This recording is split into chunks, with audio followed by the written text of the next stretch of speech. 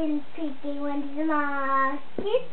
This little piggy stayed home. This little piggy ate all the roast beef, and this little piggy had none. And this little piggy